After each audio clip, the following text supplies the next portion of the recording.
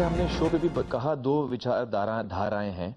और जो लोग ये कहते हैं कि वो पेस्टिसाइड के बगैर हम उत्पादन उतना नहीं कर पाएँगे वो या तो ठीक से जानकारी नहीं है उनको क्योंकि जो जिस किस्म की जैविक खेती एक जमाने में हुआ करती थी अब उससे हम कहीं आगे बढ़ चुके हैं। अब जो हम जैविक खेती करते हैं कि लोग जो उसमें जो- जो उत्पादन हैं, बढ़ता हाँ, है।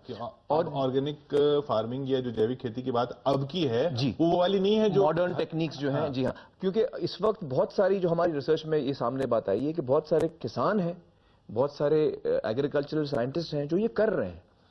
और उनको उत्पादन अच्छा मिल रहा है और जो जीवनी शक्ति है मिट्टी की वो कायम रखी रख रहे हैं उसको और जीवित कर रहे हैं। जो कि हम हमें जिसकी हमें सख्त ज़रूरत है। तो जो लोग ज़्यादातर अब जो ऑब्जेक्ट कर रहे हैं वो पेस्टिसाइड कंपनी के के साथ किसी ना किसी तरीके से जुड़े हैं। तो उनको लगता है उनको ये डर लगता है कि हमारी आमदनी कम हो जाएगी।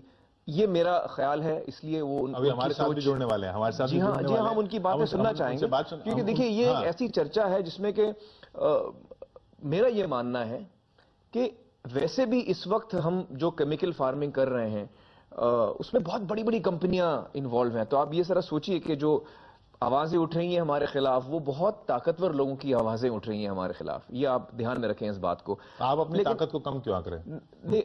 उनकी ताकत चलिए, हमने- हमने अलग ताकत है। लेकिन इसमें मैं जो अहम चीज़ ये कहना चाह रहा हूँ कि इसमें हम हमारा बेसिक मुद्दा हमारी बेसिक सोच क्या है? वो ये है कि एक रात में तो वैसे भी हम जैविक खेती पूरे देश में नहीं ला सकते। सिक्किम जो राज्य है, उसको भी पंद्रह साल लगे ऑर्गेनिक पूरी तरह होने में। अभी भी 2015 में जाके वो ऑर्गेनिक, पूरी तरह से ऑर्गेनिक बन जाएँगे। तो ये एक तरीका है शिफ्ट करने का। आप एक दिन में शिफ्ट नहीं कर पाएँगे। किसानों को सिखाना है नई तरीके धीरे धीरे एक चीज़ को कम करनी है, दूसरी को बढ़ानी है। तो ये सिलसिला वैसे भी इसमें वक्त लगेगा। लेकिन इसकी तरफ़ बढ़ना बढ़ने की शुरुआत हमको आज से ही कर देनी चाहिए ताकि जल्दी से जल्दी हम उस तरफ़ बढ़े। ये, ये जहर ये- के बगैर खाना हाँ मतलब इसमें मेरे मन में तो कोई दो राय है ही नहीं हाँ। कि आप जहर के साथ खाना खाना चाहेंगे या जहर के बगैर। चलिए देखते हैं इसका असर अगर हम किसानों को केमिकल फ़ार्मिंग के लिए सब्सिडीज देते रहेंगे तो ज़ाहिर है हमारी थाली में किसी न किसी हद तक जहर आता ही रहेगा। लेकिन अगर वही सब्सिडी हम उन्हीं किसानों को ऑर्गेनिक फ़ार्मिंग यानी जैविक खेती के लिए दें। तो हमारी थाली में पौष्टिक और सेहतमंद खाना आएगा और इससे किसानों की बिगड़ती सेहत पर भी अच्छा असर होगा। इसलिए जितनी ज़ोर से हो सके, आवाज़ लगाइए। आमिर की इस आवाज़ पर देश भर में आवाज़ उठने लगी है।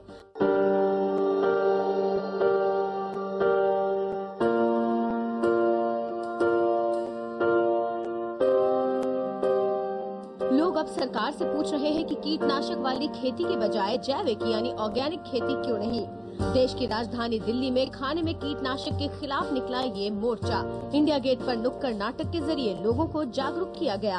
आपको पता है कितना पेस्टिसाइड हम हर, हर रोज हम अपने खाने में खाते हैं। पीपल को ऑर्गेनिक ऑर्गेनिक खाना चाहिए। हम चाहते हैं कि सरकार इस पर पहल करे जो सब्सिडी वो कीटनाशक दवाओं को और रासायनिक खादों को देती है, वो जैविक खेती, जो पर्यावरणीय खेती है ऑर्गेनिक खेती है, उसको, उसकी तरफ़ दे।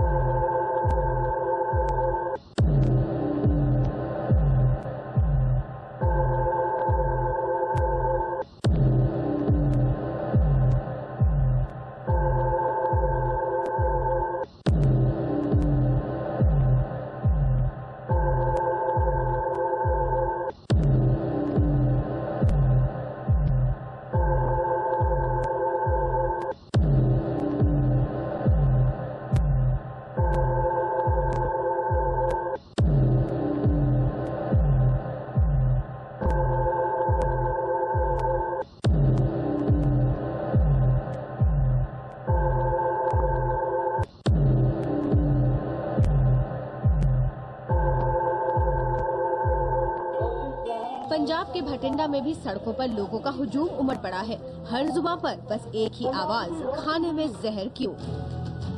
परंतु सत्य में जयते का जो कार्यक्रम अमीर खान जी ने पेश किया, उससे हमें और भी हौसला मिला और हम प्रण कर रहे हैं कि हम अपने शुद्ध भोजन के लिए बहुत कुछ करेंगे।